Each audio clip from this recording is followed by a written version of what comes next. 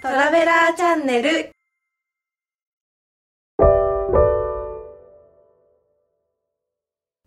皆さんこんにちは。いつもトラベラーチャンネルをご覧いただきありがとうございます。JST 留学ホームステイ担当のワニベです。今日お話しする内容は30歳以上の大人限定社会人留学ということで30歳以上の大人の方でも留学できるよう専用プログラムということで、まあ、大人でも対応できる社会人の留学についてお話ししたいと思います。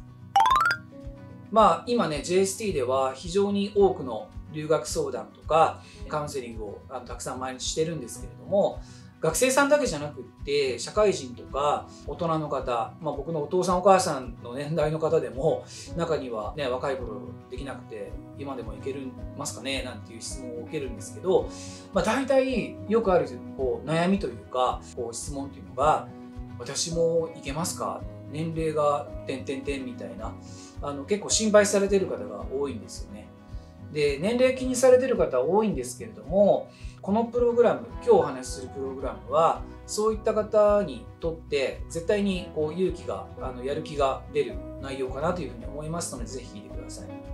若い人に混ざって勉強できるかなとかねあの本当にこう心配な方いらっしゃるんですけれども中にはね自分より10年以上年の離れた学生と一緒に机を並べて勉強するのがそれさえその心配がねあのクリアできれば留学したいんだけどっていう声もあったりとかします。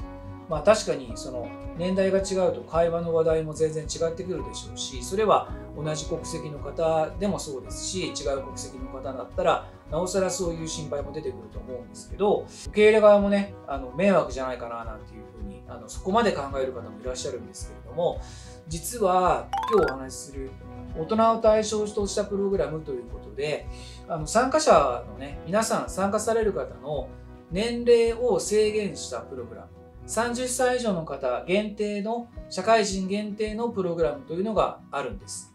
でまあそのプログラムだとどういうことが利点があるかっていうとやっぱり、まあ、全員その参加する方その教室に入る方クラスに入る方は30歳以上なんでまあ比較的落ち着いた雰囲気で勉強することができます。30歳以上ということは40歳の方も OK だし45歳の方も OK、まあ、結構あの他の国から来る方で60歳70歳の方も時々いらっしゃるようですよ。なのでそういったもうあのある程度社会を経験されてる方とかまたお仕事をされた方がいらっしゃるのでしている方もいらっしゃいますからあの、まあ、非常に落ち着いた環境で学べる。であの会話の内容とかもね絶対にそういった部分で非常にまあ大人な内容というか自分のこうあの今まで経験してきた仕事とかまたそういうところで仕事の内容とかやってきたこう社会人としてのフィールドが同じだったら非常にこう打ち解け合うことも期待できると思いますし現にま今まで参加された方でもそういった部分で一生の友達ができたみたいなね方もいらっしゃるのでなので年齢あんまり気にせずその限定されているので30歳以上ということで雰囲気また環境っていうのは間違いないんじゃないかなというふうに思います。まあ、世界中で展開しているので6都市ありますのでそういった部分でも皆さんの希望に合わせて、えー、プログラムを組むことができます。さらに滞在方法も、えー、っとホームステイがおすすめですけれどもホームステイ以外にもレジデンスアパート学校側がしっかりアレンジをしてくれる滞在方法を選んでいただけるのでこの点も安心です。まあこんな感じでねあの教えてくださる先生はもしかしたらちょっと若い先生もいやそんなことないですね大体まあ30歳以上の方になると思いますがあの参加される方はもう大体こう、ね、写真見た感じ分かるように落ち着いた方大人の方たちばっかりなのでこう現役のこう高校生とか大学生とかはいませんからそういった部分では非常にまあ落ち着いた環境でアカデミックな環境で、えー、しっかり勉強することができるのでいいかなというふうに思います。えー、プログラムどんな内容で勉強するかっていうこともお話ししたいと思います。もう大人の方が興味を持っていただきやすい内容で授業は進めます。例えば、まあ、お仕事をされてる方なんかはあのビジネスにおいて使える英語、英会話、またオフィス内での会話に関しても、まあ、英語でどういうふうに会話するのか、どういうシチュエーションでこういうことをするのか、またこういう表現を使うのか、とかね、まあ、あと電話の対応とか接客とかねこういったビジネスに関係する英語というのもあの勉強しますしまたあの社会人ですから言葉遣いとかその英語の表現言い回しとかも大人にふさわしい内容で勉強することができます。なのでまあ実際に今まだ社会人で活躍されてる方でも全然問題ないと思いますしまああのいろいろねそういった部分あのリンクするというか社会人の方が参加していただけると非常にまあプラスになるかなっていう内容のあのプログラムです。であの授業だけでなくアクティビティも非常に楽しみです。